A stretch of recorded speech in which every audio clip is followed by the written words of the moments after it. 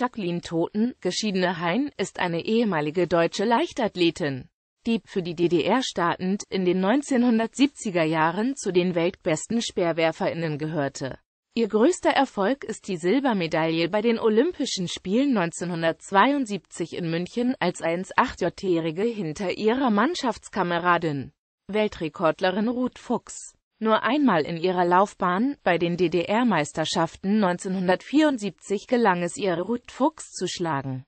Jacqueline Toten startete für den SC Dynamo Berlin und trainierte bei Hans Bier. In ihrer aktiven Zeit war sie 1,71 Meter groß und wog 62 Kilogramm.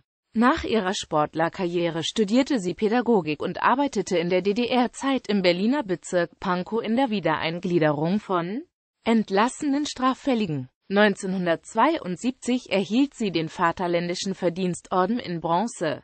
Erfolge im Einzelnen. 1970 Junioren-Europameisterschaften. 1972 Olympische Spiele. Platz 2 1974 Europameisterschaften. Platz 2 1976 Olympische Spiele. Platz 4